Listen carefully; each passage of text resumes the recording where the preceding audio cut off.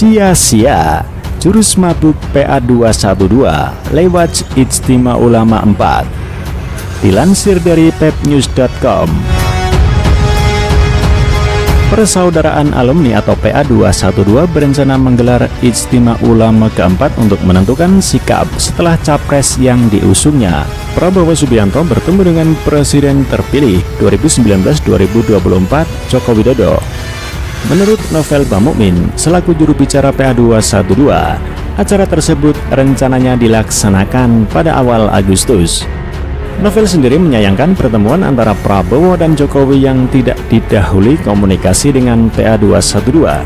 Seperti yang kita tahu, PA212 memiliki gerakan awal yang besar sejak kasus tuduhan penistaan agama membelit mantan gubernur DKI Jakarta. Kita semua juga tahu bahwa hampir media di Indonesia merekam momen di mana Prabowo mengucapkan selamat bekerja kepada rivalnya, Jokowi.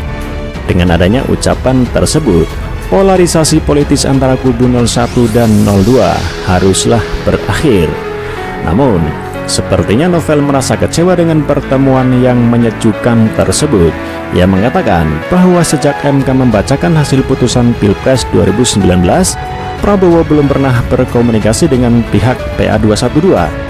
Seakan Novel merasa dilangkahi Padahal pertemuan kedua anak bangsa tersebut tidak ada kaitannya dengan PA212. Prabowo tentu memiliki hak untuk bertemu dengan siapa pun demi terwujudnya persatuan Indonesia agar guyup rukun kembali. Sikap yang ditunjukkan oleh PA212 tersebut menunjukkan bahwa tidak semua kelompok pendukung Prabowo Sandiaga senang dengan pertemuan antara Jokowi dan Prabowo di MRT.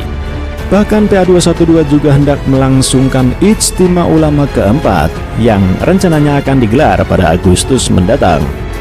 Pertemuan tersebut rencananya akan membahas sikap politik usai Prabowo bertemu dengan Jokowi. PA212 bahkan mengancam akan meninggalkan Ketua Umum Gerindra itu bila Prabowo bersedia dirangkul Jokowi. Pertemuan yang digagas oleh PA212 itu tentu patut dipertanyakan apa urgensinya bagi bangsa Indonesia? Padahal rangkaian Pilpres 2019 sudah selesai sampai pada tahap putusan MK. Padahal masyarakat menginginkan adanya rekonsiliasi dan itu sudah terwujud dengan sangat akrab. Sehingga penyelenggaraan Ijtima Ulama Jilid keempat jangan sampai menginginkan keterbelahan di Indonesia. Padahal ulama merupakan tokoh terhormat Ulama merupakan sosok yang dihormati dengan visi keislaman dan keilmuannya sebagai pewaris Nabi, bukan lantas membenci akan pertemuan yang mendamaikan.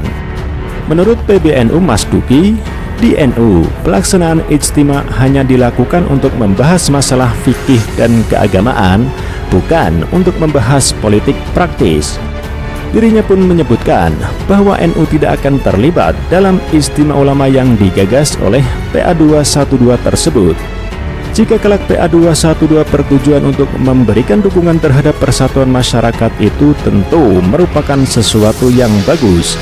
Namun, jika ingin memelihara keterbelahan, apalagi menuduh junjungannya sebagai pengkhianat, hal tersebut tentu sebuah kontraproduktif dari apa yang diinginkan oleh masyarakat Indonesia yaitu persatuan bangsa pasca pemilu.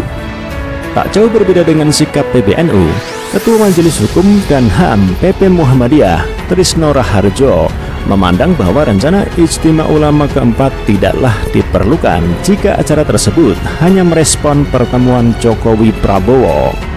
Menurutnya, sebuah istimewa tidak perlu bersifat responsif akibat suatu pertemuan antar dua orang, Meskipun dalam berdemokrasi tidak ada larangan untuk berkumpul dan berserikat, namun istimewa ulama keempat merupakan agenda yang syarat akan nuansa politik.